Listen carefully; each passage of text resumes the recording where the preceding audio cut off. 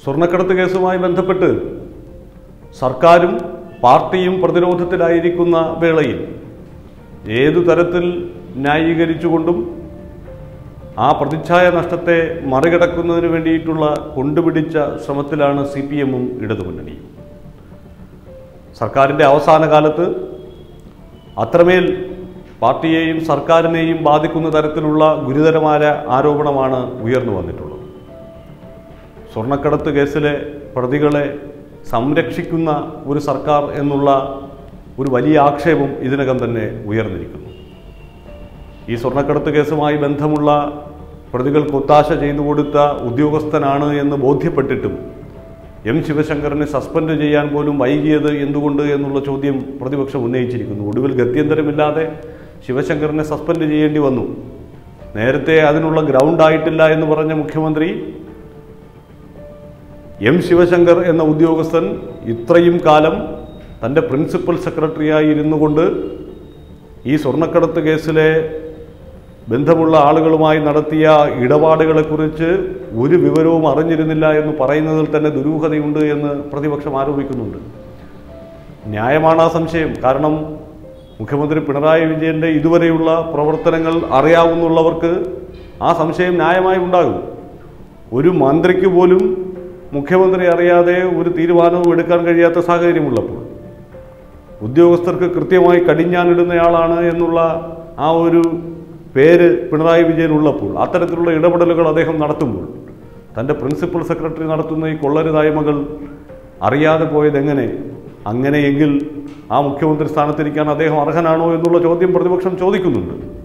എന്തായാലും മുഖ്യമന്ത്രിയുടെ ഓഫീസും സർക്കാരും പ്രതിരോധത്തിലായിരിക്കുന്ന ഈ വേളയിൽ പാർട്ടിയെയും സർക്കാരിനെയും സംരക്ഷിക്കുക എന്ന ലക്ഷ്യത്തോടു കൂടി സി പി എമ്മിന്റെ ഉന്നത നേതൃത്വം തന്നെ രംഗത്തെത്തിയിട്ടുണ്ട്.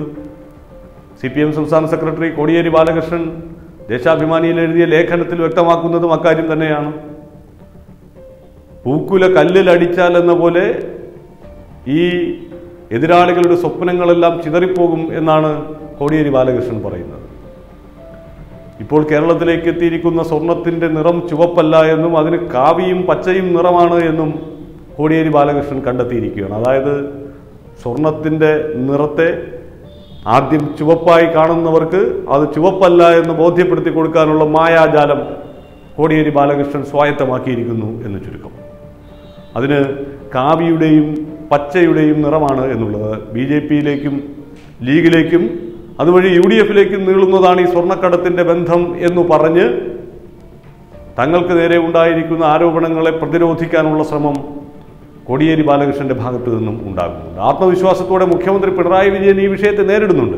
പക്ഷേ അപ്പോഴും ഈ നേരത്തെ പറഞ്ഞ കാരണമാണ് അവിടെ മുഖ്യമന്ത്രിയെ പ്രതിക്കൂട്ടിൽ നിർത്തുന്ന ഒരു ഘടകം. മുഖ്യമന്ത്രിക്ക് നേരെ സംശയം ഉണ്ടാകുന്നതിനുള്ള ഒരു ഘടകം.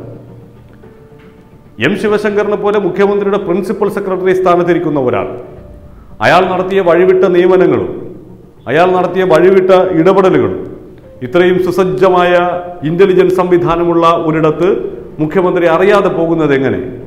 അതോ അറിഞ്ഞിട്ടും ചില കണ്ണടയ്ക്കലുകൾ മുഖ്യമന്ത്രിയുടെ ഭാഗത്തു നിന്നുണ്ടായി? അതാണല്ലോ പ്രസക്തമാകുന്ന ചോദ്യം. ആ ചോദ്യമാണ് ഇപ്പോൾ സജീവമായി ഉയരുന്നത്. ശിവശങ്കറിനെ സംരക്ഷിക്കുന്നതിനുള്ള വ്യഗ്രത മുഖ്യമന്ത്രിയുടെ ഭാഗത്ത് നിന്ന് ഓരോ ഘട്ടത്തിലും ഉണ്ടായിരുന്നു എന്നുള്ള തോന്നൽ പ്രതിപക്ഷം ഉന്നയിക്കുന്നുണ്ട്. സസ്പെൻഡ് ചെയ്യാൻ വൈകിയത് അടക്കമുള്ള കാര്യങ്ങളിൽ അത് അവർ ചൂണ്ടിക്കാട്ടുന്നുമുണ്ട്. മുഖ്യമന്ത്രിയെ വളരെ ആത്മവിശ്വാസത്തിന് അന്വേഷണം എന്റെ ഓഫീസിലേക്ക് വരുന്നെങ്കിൽ വന്നോളട്ടെ ഉപ്പ് തിന്നവൻ വെള്ളം കുടിക്കട്ടെ. ഒന്നിനെയും താൻ എതിർക്കുന്നില്ല. ഈ അന്വേഷണം പോലും ഒരു രാഷ്ട്രീയ പ്രേരിതമായ ഒന്നാണ് എന്ന് ഇപ്പോഴത്തെ അവസ്ഥയിൽ പറയാൻ കഴിയില്ല എന്നൊക്കെ ഉറച്ച നിലപാടോടുകൂടി കാര്യങ്ങൾ പറയുന്ന മുഖ്യമന്ത്രി.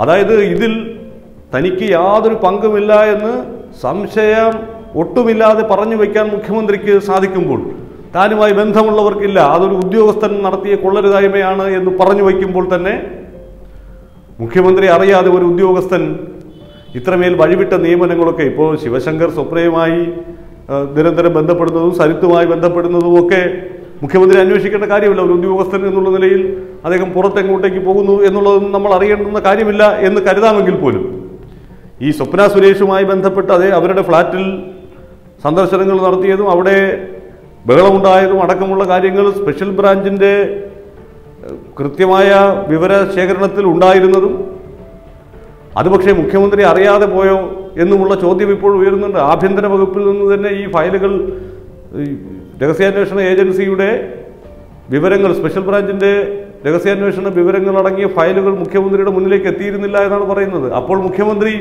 ഇതൊന്നും അറിയാതെ അവിടെ പാവയായിരിക്കുകയാണോ? നമ്മൾ നമ്മുടെ മുന്നിലേക്ക് വെച്ച പിണറായി എന്ന് പറയുന്ന ബിംബം തകർന്നു വീഴുന്നതാണോ?